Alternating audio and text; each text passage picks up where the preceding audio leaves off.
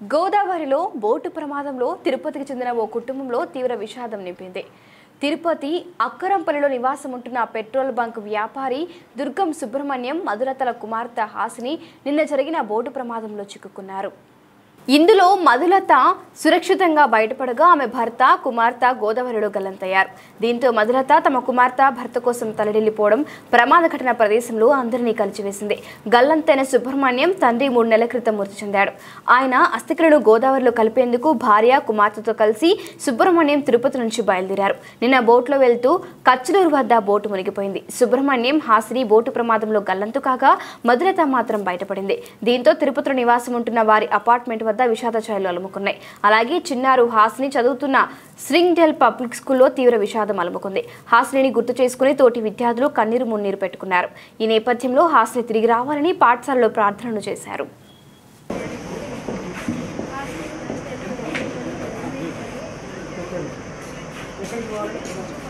Friday ఆమె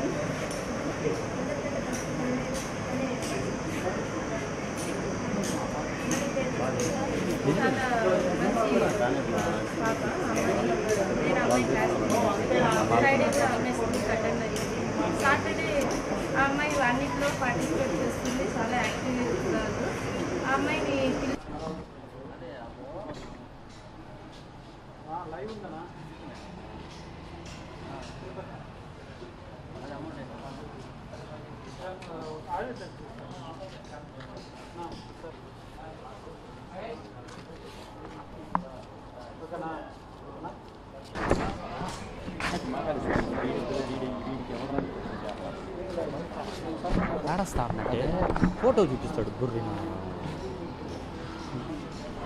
ఇక్కడ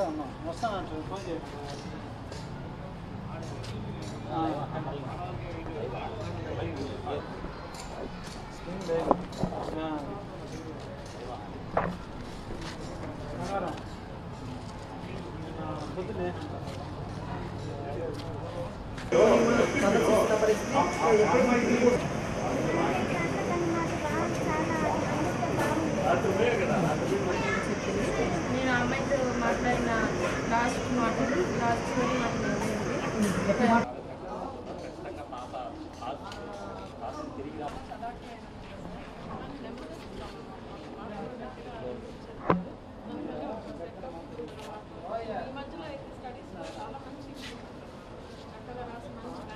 తన పేరు హాసిని సార్. తను నాకు చాలా బెస్ట్ ఫ్రెండ్ సార్. తను చనిపోయిందని ఎవ్వరు నమ్మరు సార్. ఇంకా తను మళ్ళీ తిరిగి రావాలనే కోరుకుంటున్నాం అందరం. చాలా స్నేహంగా ఉంటుంది సార్. ఎవరిని ఏం అనదు ఎవరిని ఏమి అనదు సార్ తను. బాగా చదువుతుంది సార్. బాగుంటుంది సార్. హాసిని మా అందరికి బాగా తెలుసు. చాలా అందరితో చాలా క్లోజ్గా ఉంటుంది. నాకు ఇది ఎప్పుడు తెలుసు అంటే నిన్న రాత్రి మేము జూ పార్క్కి వెళ్ళినప్పుడు మా మమ్మీ డాడీ అందరికీ ఇలా చెప్తున్నా ఎంతో బాగా ఎంజాయ్ చేశాము. ఇలా చెప్తున్నప్పుడు నా బెస్ట్ ఫ్రెండ్ సనత్ ఒకసారి ఫోన్ చేసి ఒకసారి న్యూస్ ఛానల్ పెట్టి చూడు అని అడిగాడు. నేను పెడతా ఉన్నప్పుడు అతను చెప్పాడు ఇలా ది హాస్ని గోదావరికి వెళుతూ డిహాస్ని ఇలా గోదావరికి వెళ్తూ వెళ్తూ వాడి బోట్ అన్ ఇన్బ్యాలెన్స్ అయిపోయి అందరూ ఒక సైడ్ ఒక సైడ్కి వచ్చినప్పుడు అలా పోల పడి కొండ దగ్గర పడింది అన్నారు అప్పుడు నాకు ఏమనిపించింది అంటే కొండ దగ్గరే కదా పడింది తను ఈత కొట్టుకుని కొండ దగ్గర కన్నా వెళ్ళుండొచ్చు ఇలా అనుకున్నాను. కానీ ఈరోజు మార్నింగ్ ఎప్పుడైతే న్యూస్ పేపర్ చూసానో తను ఇంకా కనపడలేదు అనిపించింది అందరూ చాలా బాధపడ్డారు మా క్లాస్ అందరూ చివరికి. అందరూ మేము అందరూ చాలా బాధపడుతున్నాము తను తిరిగి రావాలని మేము కోరుకుంటున్నాము. ఎలా ఉంటుంది తను అందరితో ఫ్రెండ్షిప్గానే ఫ్రెండ్లీగానే ఉంటుంది కానీ చాలా సై సైలెంట్గా ఉంటుంది ఎప్పుడు. అంటే తను ఎవరితో గొడవ పెట్టుకోదు ఎంత సైలెంట్గా ఉంటుంది. అంతే తిరిగి రావాలని మేము కోరుకుంటున్నాం. సాయి సాయిత్. అమ్మాయి పేరు డి హాసిని అండి. స్ప్రింగ్ డేలో చదువుతుంది సెవెంత్ క్లాసు తను ఫ్రైడే కూడా స్కూల్కి వచ్చింది. సాటర్డే మేము స్కూల్లో అందరూ ప్లాన్ చేసుకున్నాం ఫీల్డ్ ట్రిప్ జూప్ వెళ్ళాలనేసి. తను మామూలుగా అన్నిట్లో బాగా పార్టిసిపేట్ చేసి వస్తూ ఉండేది.